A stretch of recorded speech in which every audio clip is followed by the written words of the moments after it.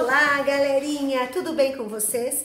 Vamos para mais uma lição de casa, para mais um para casa. Hum, só que antes da gente fazer o para casa, a tia Luciana trouxe, ó, alguns emojis para reconhecer algumas emoções.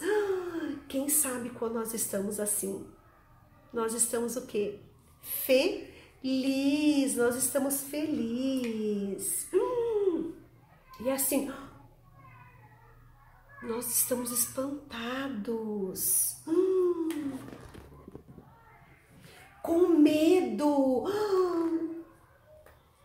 E assim nós estamos o quê? Apaixonados. E assim, hum, triste. E assim, com raiva. Estou furioso. Então, para o nosso para casa, tia Luciana vai mostrar assim para vocês, ó.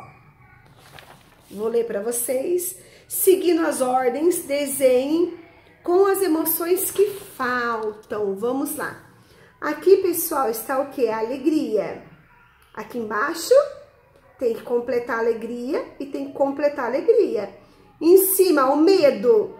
Embaixo não tem medo. E nem outro embaixo, tem que completar o medo.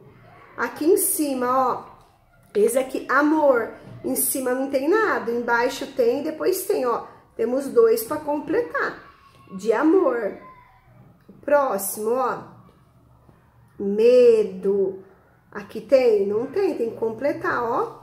E esse é alegria, mesma coisa. O de baixo não tem nada e o de baixo não tem nada. Então, vocês vão ter que completar a sequência. Vai olhando, ó. Alegria em cima, olha embaixo. Olha o do outro. O próximo. O medo. O que vocês podem fazer? Pode fazer antes. Usando né, as nossas emoções. Leia que a mamãe vai ler para vocês. Alegria. Estou alegre. E aí vocês já completam aqui. O próximo. com medo. Aí depois vocês completam aqui. O terceiro, amor. Terceiro, aí vocês vão completar o amor. O quarto. Brava. Aí vocês vão completar com raiva. E o último, a tristeza.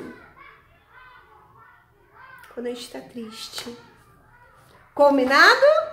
E aí vocês podem fazer brincadeiras com a mamãe. Mamãe faz uma carinha, vocês fazem outra carinha. E depois, por último, vocês fazem um registro. Combinado? Então essa é a nossa atividade. Do nosso para casa.